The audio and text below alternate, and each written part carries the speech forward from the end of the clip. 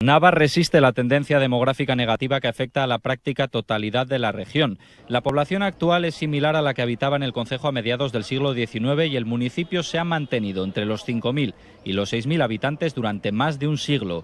El máximo se alcanzó en el censo de 1930, cuando en Nava vivían más de 7.000 personas. En Nava pudiéramos considerar que en los últimos quizá 150, que haya, que haya datos buenos o fehacientes, podemos decir que estamos entre los menos de 7.000 o quizás llegando a 7.000 y ahora mismo 5.300, sí, pero, pero en el torno de los 6.000 podemos dejar ahí el, parámetro muy razonablemente. Ubicada en torno a un valle, Nava está coronada por la Sierra de Peñamayor con una cota máxima de 1.200 metros de altitud. A sus faldas se asientan un total de 58 núcleos habitados, entre los que destaca la villa de Nava. Actualmente la capital sidrera cuenta con 2.150 habitantes y su parroquia suma más de la mitad de la población naveta. Nava absorbe todo eso, incluso de, concejos limítrofes como puede ser Jiménez, porque no nos vamos a engañar, y ah, funciona como polo de atracción. Entonces, bueno, de alguna manera el núcleo va creciendo un poco más, pero a costa de que se vayan, digamos, despoblando los núcleos. Aunque no todos, dentro de la parroquia de San Bartolomé de Nava se encuentran algunos pueblos que no pierden población.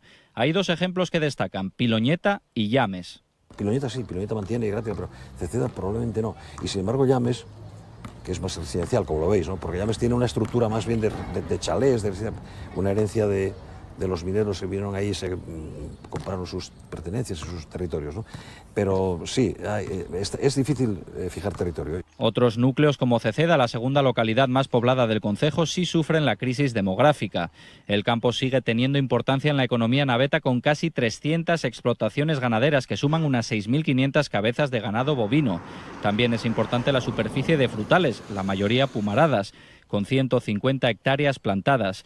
Eso sí, la mayor parte de los navetos se emplean en el sector servicios y un centenar de personas trabajan en la industria alimentaria, en la que destaca la conocida embotelladora de agua Fuensanta. El concejo tiene actualmente 300 parados.